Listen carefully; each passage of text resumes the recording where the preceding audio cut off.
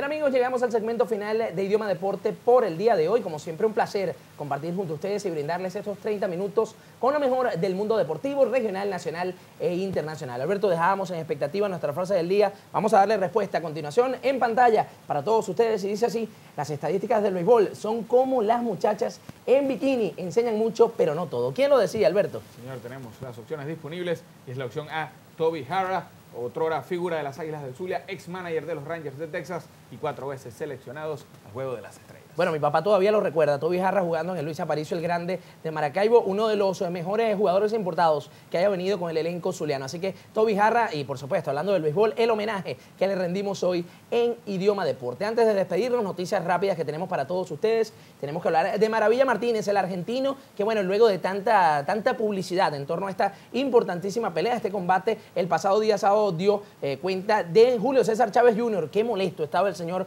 Julio César Chávez, una gloria del boxeo internacional al ver esta pelea que perdía su hijo. Hay que destacarlo. Eh, Chávez Jr. en el round número 12 estuvo a punto de eh, noquear al señor Maravilla Martínez, quien había prometido que eh, noquearía al hijo de Julio César Chávez a la altura del segundo round. Mira, Edwin, es que de esta manera termina el invicto por más de 40 combates que tenía el mexicano de 26 años quien perdió en el día, del, el día sábado por decisión. Y los jueces marcaron 117, 110, 118, 109 y 118, 109, lo que le da una victoria eh, por unanimidad a lo que es la Maravilla Martínez. Sí, señor, se llevó 1.4 millones de dólares eh, por el combate Maravilla Martínez. Por cuestiones de derechos, el eh, señor Julio César Chávez Jr. se lleva una bolsa de 3 millones de dólares. Y estamos bien eh, pendientes con lo que pueda pasar, porque por allí se dice que viene ya, dentro de muy poco, lo que será una nueva pelea entre el señor Julio César Márquez y, por supuesto, el pugilista filipino Manny Pacquiao, esperando la Mayweather Pacquiao, que sin duda alguna yo creo que sería el colafón para dos grandes carreras en el mundo del boxeo. Sí, señor, también tenemos que hablarles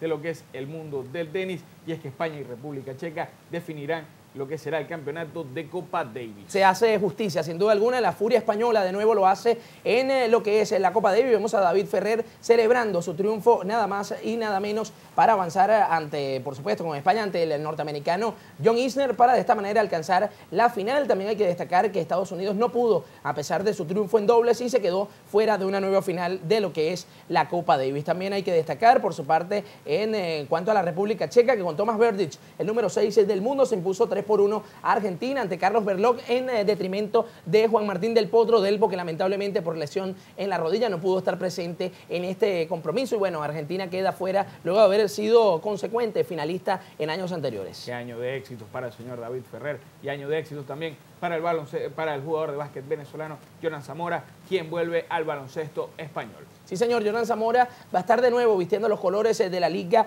Adeco Oro en lo que es el baloncesto español. De esta manera va a estar vistiendo los colores eh, del equipo, nada más y nada menos eh, que el Club Palencia de la Liga Adeco Oro española. Y bueno, estará hasta diciembre, ya ha sido confirmado, estará hasta diciembre con el cuadro español para luego incorporarse a partir de enero con el elenco del Expreso Azul de los Trotamundos de Carabobo, por supuesto, de cara a lo que será la temporada 2013 de la LPB. Así que le deseamos toda la suerte del mundo a Jordan, un gran jugador de nuestra selección vino tinto. Sí, señor, un día, eh, el día de hoy, un día de éxitos para los jugadores nuevos, para los novatos, eh, venezolano 286 en las grandes ligas y vuelve Jordan Zamora a lo que es el baloncesto español. Sí, señor, efectivamente. Amigos, vamos a despedirnos por el día de hoy. Ha sido un eterno placer, por supuesto, compartir con todos ustedes y brindarles lo mejor del mundo deportivo, regional, nacional e internacional. Como siempre, en nombre de todo nuestro equipo técnico y de producción, Alberto Ferreira Ávila junto a Edwin Palma, nos despedimos y será hasta el próximo día miércoles en una nueva edición de Idioma Deporte. Que estén todos muy bien.